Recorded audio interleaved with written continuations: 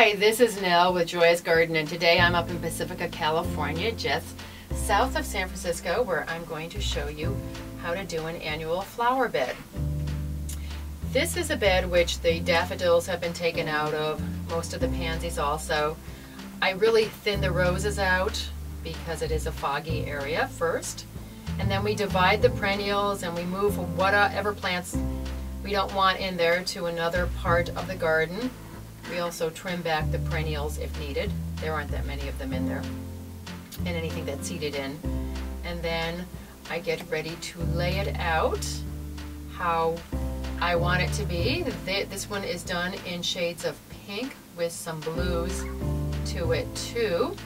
When we plant, we use alfalfa meal, organic rose and flower food, and chicken manure, all of which is organic also. I usually believe in compost, but annuals do like fertilizer. There's a gopher basket. There are gophers in this area, and we make our own baskets also.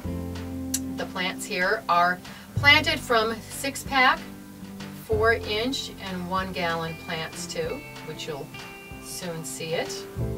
I lay everything out in, in groupings because I don't like a mishmash of colors, so it has waves. And then it's tied in with the blues of the lobelia. Really pop out the pinks too. Here you can see it a little bit closer. And then after everything is planted, we top dress it with compost. I'm a big proponent of compost. I love it. It also covers up the tubes. Here it is with the garden art back in. And it's all placed there. As you can see, the shades of pink right. Then there's another bed, which we're going to see very soon, which is right across the way, that we call the fairy bed. And it's done in the same way, planted and prepared in the same way. Here it is right here.